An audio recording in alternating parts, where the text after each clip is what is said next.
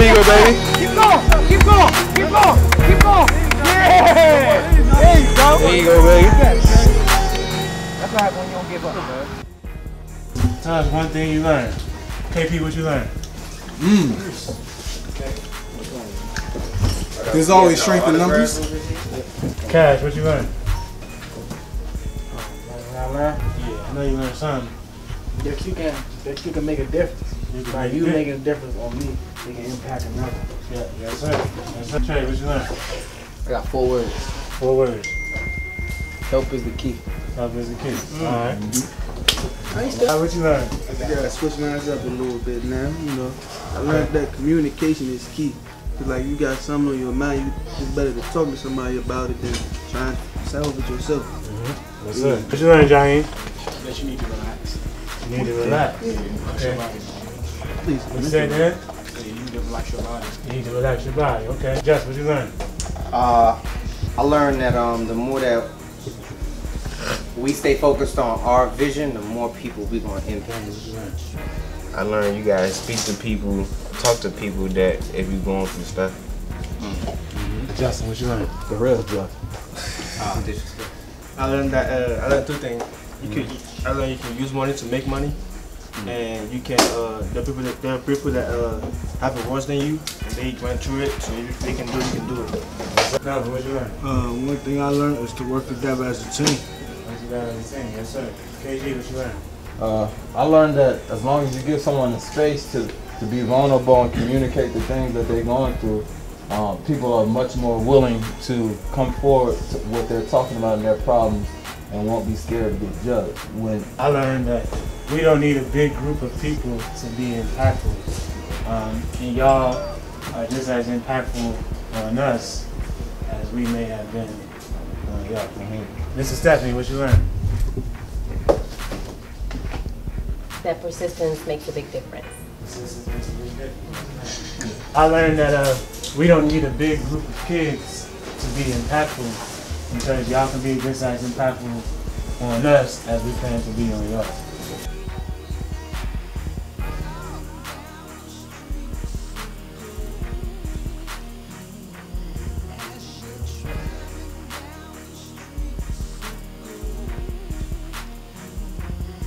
We dope.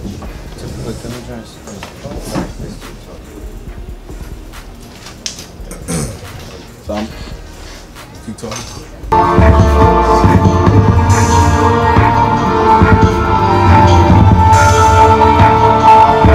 Teaching is hard. Y'all know that? Y'all know that? Why y'all think it's hard? Gotta deal with the kids. you, already, you, you, already, you already know the deal, right? No, man, I think that class is different, not just to be biased, but everything else you can kind of guess, finesse, write something down, fill up the page, and kind of finesse your way through it. But math, you either right or you're wrong, right? And a lot of kids don't know how to be wrong. So I had a lot of uh, issues, and I found myself teaching about life more and more and more, and I could never really make it to math. And my kids, whatever the school, especially when I was at Cardozo, Malcolm, you need to stop teaching, be a social worker and motivational speaker. Stop teaching, be a social worker and motivational speaker. I always keep on my desk, I got like a big folder thing, like all letters from my students. It's like starting a job, leaving, starting a job, leaving. So the amount of teachers that leave is, is one of the highest in the country. I take my time to teach kids about life, um, and that's something I actually put my heart into. All right, so you'll learn more throughout the day. But I'm Justin. What's up, fellas? My name is Kendall. I'm Malcolm, and this is Game 7.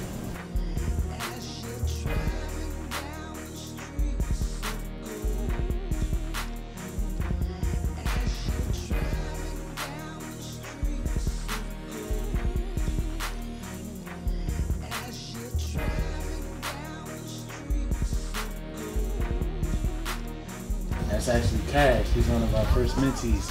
Uh, he was sitting where y'all were sitting when we did an event at HE. Um, and he was one of, in my opinion, the student that took it the most. And he immediately jumped on. Got himself a camera, uh, hit KP, hit Josh. Um, I'm trying to do some picture stuff. I'm, I'm trying to start photography. Him and KP built a relationship. Now you're here today and you're getting a check too. Right? I couldn't care less if you get it wrong. All I care about is if you give it a shot. All right? I don't know much about money, but in order to make you need at least some type of education.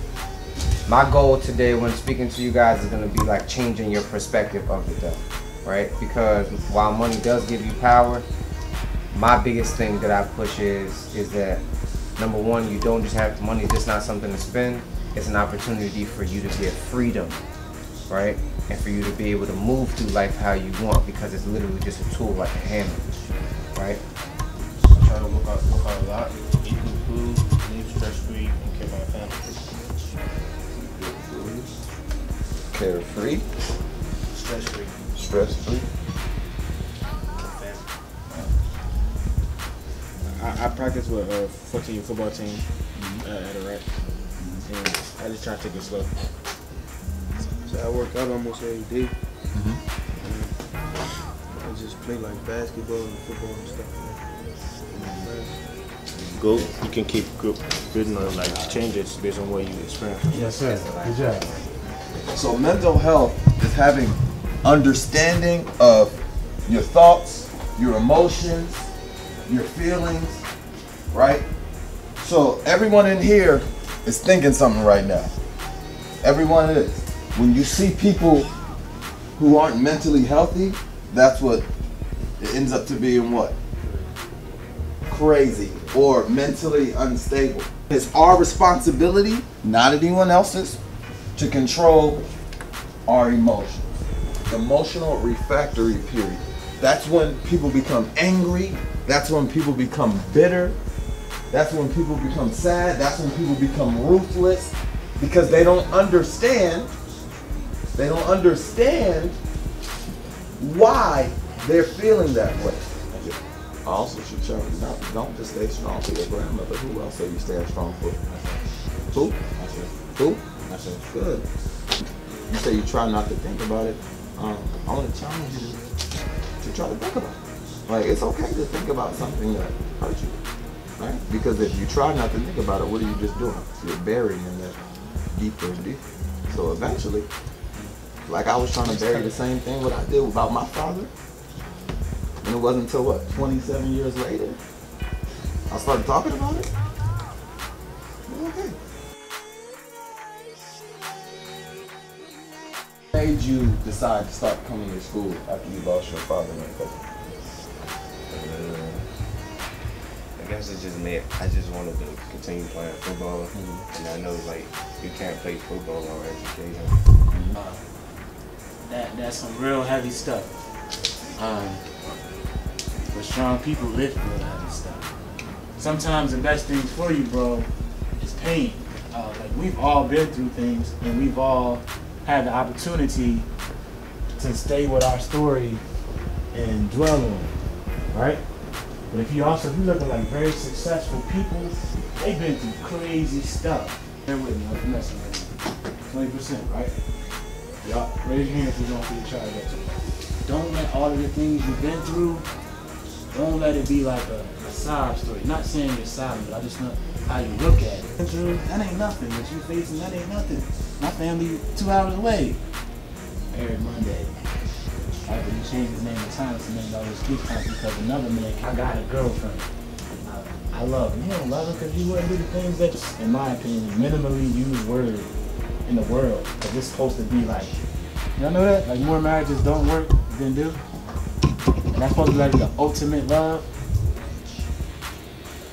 You ready? he, he about to get married. Alright, but alright, so I've been going on all, all day. But, so, so for many of us, when we try to break the cycle, we go on a rampage. Like, I don't know what I'm doing. I got this stuff going on, so I'm gonna bring my pain into other people. I ain't trying to carry you, but that's the kind of message I give you. Right? You try to get your bread up with the situation you got. Right? Or with the people you know, you're trying to get money, you're trying to do something with. It, Right? Boom, they got you though. They trying to get you. Right? Because you're rampaging. As opposed to educating yourself so you can break that cycle and start to explore and people can start to get, oh, you, you, you not hurting nobody? No, yo, let me, let me put you in the zoo. Let me get you in college. let, let, let me get you in the trade school, right? Or let me try to get you in the AAU team. Or let me get you with a coach that don't care about the sport, that care about you. Even though it's not your fault that your parents passed away, or your parents was weak, or your parents made bad decisions. You can't control that.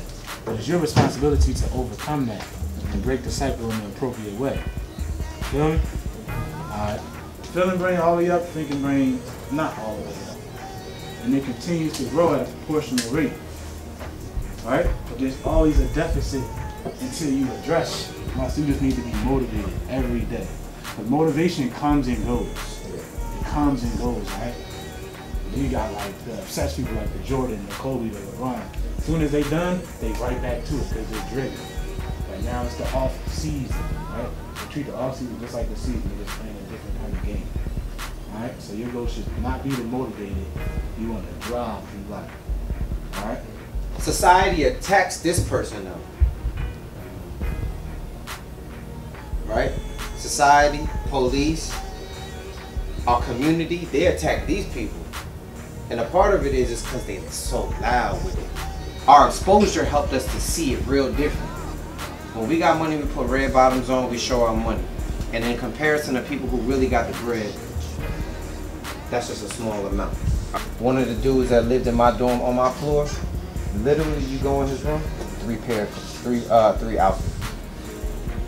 But you know what? Whenever we had like a long weekend, like we did last week, when y'all had off Monday, Tuesday, he went to Jamaica for the weekend, flying private. He went to Turks and Caicos, like another island in the in the Caribbean. In the Caribbean, we'll go to yeah Caribbean. yeah. And uh, went to Paris, all this wild stuff. Be on TV.